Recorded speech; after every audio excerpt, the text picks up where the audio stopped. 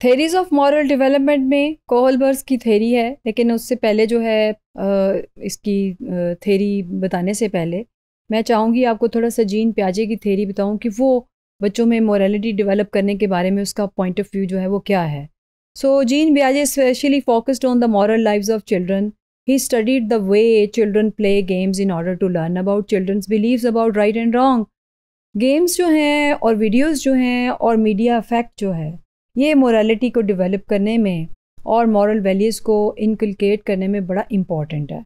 क्योंकि हमारे सामने कुछ मॉडल्स हैं, अभी आप देखें, अभी ड्रामाज किस किस्म के आ रहे हैं और बच्चे गेम्स किस किस्म की खेल रहे हैं। उन जो गेम्स वो खेल रहे हैं, उसमें सारा जो है वो एग्रेशन है। बच्चे एग्रेसिव गेम्स जब खेलते हैं तो उनकी ऑटोमेटिकली एग्रेशन उनमें बढ़ता है और वो बड़ों की रिस्पेक्ट जो है वो बड़ी कम करते हैं। क्योंकि उन्हें सिर्फ़ अपनी गेम के टारगेट्स को अचीव करना होता है जिसमें उन्होंने किलिंग करनी है बड़ी ज़्यादा। ये बड़ी ज़्यादा कॉग्निटिवली उनके ब्रेन को बहुत ज़्यादा डिस्टर्ब करती हैं और इमोशनली वो बड़े डिस्टर्ब होते हैं इस तरह की किलिंग से और टारगेट गेम्स को खेलने से। टारगेट अचीव करने के लिए हमेशा बच्चों को वो गेम्स दिलाएँ जिसमें उनको कॉइन्स मिल रहे हैं अचीव कर रहे हैं टारगेट्स हो रहे हैं। किलिंग और गन वाली गेम्स और इस किस्म की वो तमाम चीज़ें जो उनके अंदर एग्रेशन लाएँगी और सोसाइटी में नुकसान पहुँचाने वाली हैं यही बच्चे बड़े होके जो हैं, इनके अंदर नेगेटिव फीलिंग्स आती हैं और सोसाइटी में जो क्राइम्स होते हैं, वो चूँकि बचपन में वो यही देखता आ रहा है, उसके अंदर ब्रेन के अंदर। आपने देखा है, अभी सोसाइटी में कितनी हमने एग्जांपल्स देखी जिसमें कुछ एग्रेसिव गेम्स की वजह से बच्चों ने मर्डर तक कर दिए और वो उसमें उन्होंने अपने आप को हीरो दिखाया हुआ है कि मैं हीरो हूँ, जिस तरह वो किलिंग करता है, मैं भी उस मॉडल को जो है अप्लाई करके देखता हूँ कि ऐसा होता भी है कि नहीं होता। बच्चे चाहते हैं ना कि वो जो चीज़ देखें, उसको अप्लाई भी करके देखें।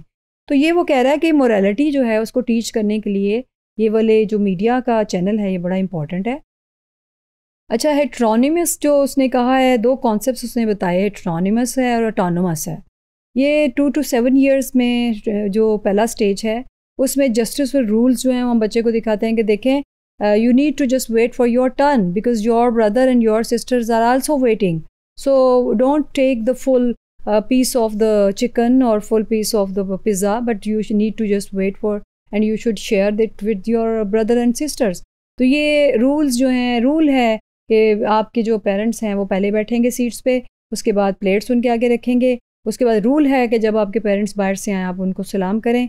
रूल है ये हमारे घर का कि जब हम घर में इकट्ठे होंगे तो इस तरह नॉइस जो है वो नहीं होगा। कुछ रूल्स आपने घर में बताए हुए हैं बच्चों को, जिसको आप फॉलो करवा रहे होते हैं।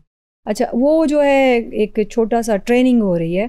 दूसरा वो कहता है, जी ऑटोनमस जो है मॉरलिटी ये अब बच्चे में इंडिपेंडेंस आ गई है वो बड़ा हो रहा है। अब वो दस साल या उससे ज़्यादा है, अब बच्चे ने खुद डिसाइड करना है कि मैंने जो है ये काम करना है कि नहीं करना। बचपन में पेरेंट्स डिसाइड करते हैं कि आपने ये काम करना है, आपने ये काम नहीं करना।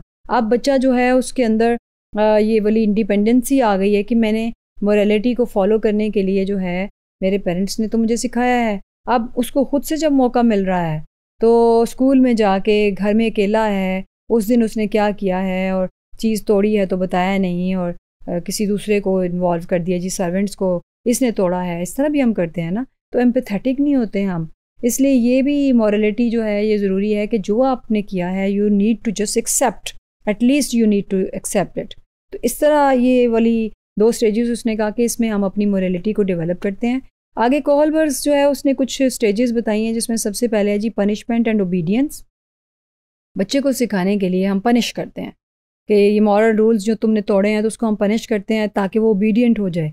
लेकिन पनिशमेंट कभी कभी तो जो है वो कभी ठीक है, बेहतर होती है, लेकिन ज़्यादातर वो बच्चे के अंदर बगावत पैदा करती है रिबेलियन बनाती है उसको। ओबीडियंस पनिशमेंट से कभी नहीं आती। ओबीडियंस जो है हमेशा आपको फॉलो करके और पोलाइटनेस के साथ जो है बच्चे को सिखाई जाती है। ये कह रहा है गोलबर्ग के सबसे पहले स्टेज पे पनिशमेंट और ओबीडियंस को पता होना चाहिए, किस तरह से क्रिएट करनी है डेवलप करनी है। फिर individualism and purpose stage two है। इसमें वो कहता है, जी, बच्चे को सिर्फ़ ये ना सिखाएँ कि सिर्फ़ तुम ही तुम दुनिया में हो और तुम बड़े इंपॉर्टेंट और बाकी लोग जो हैं वो उनकी गुर्बत की वजह से, पैसे की कमी की वजह से उसको फ़र्क ना सिखाएँ। इंडिविजुअलिज्म ना सिखाएँ, बल्कि उसको कलेक्टिविज़म सिखाएँ कि सारे घर के लोगों को जो है, उसमें आप शेयर करें ये चीज़ें।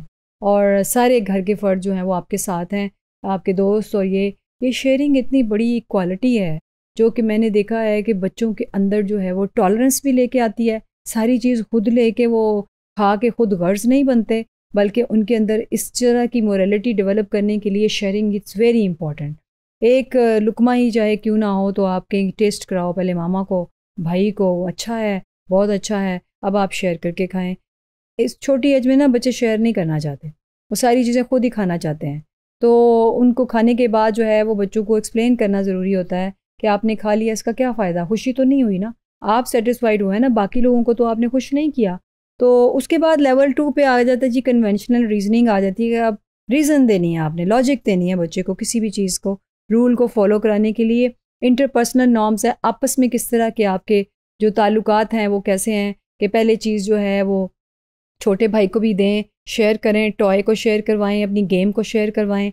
फिर सोसाइटल सोशल सिस्टम मोरालिटी क्या है? अब सोशल सिस्टम ये है कि कोई घर में मेहमान आया है तो किस तरह उसको ट्रीट करना है? हम किसी के घर मेहमान गए हैं तो किस तरह ट्रीट करें, करना यकीन करें? आपके बच्चों को देख के लोग इतनी बातें करते हैं जब वो आपके बच्चों के मैनर्स को देखते हैं। कि आज के बाद वो दुआ करते हैं कि ये बच्चे कभी हमारे घर में ना आए। तो ये इस किस्म की एम्बेरसमेंट से बचने के लिए घर से बच्चे को ट्रेंड करके उसके बाद प्रैक्टिस के लिए किसी के घर लेके जाएँ और इवन प्रैक्टिस के लिए मार्केट में लेके जाएँ। इवन प्रैक्टिस के लिए ऐसी जगह पे लेके जाएँ जहाँ पे बच्चे आपकी वो सिखाई हुई चीज़ों को प्रैक्टिस करें। और उसके बाद आगे जो है जी community rights versus individual rights हैं कि आपके राइट्स तो ज़रूर हैं लेकिन अपने अपनी स्ट्रीट्स को, अपनी सोसाइटी को, अपने स्कूल को गंदा नहीं करना। अपने आप को सर्व करने के लिए। ये भी हमने सिखाना है, कहाँ से सीखेंगे?